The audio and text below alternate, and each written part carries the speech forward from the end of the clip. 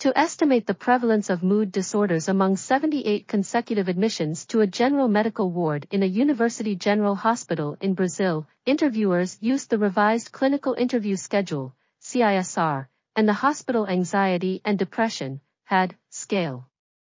The definition of cases of anxiety and depression was based on two criteria, a score greater than 2 on the CISR section of anxiety or depression, and a score greater than 2 on the clinical severity scale for anxiety or depression.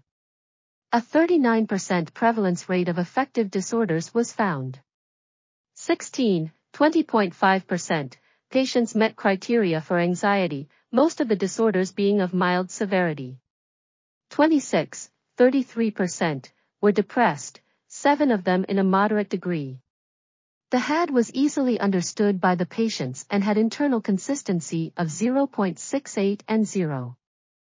This article was authored by Neury J. Botega, Marcia R. Bio, Maria Adriana Zomignani, and others. We are RTCL.TV, links in the description below.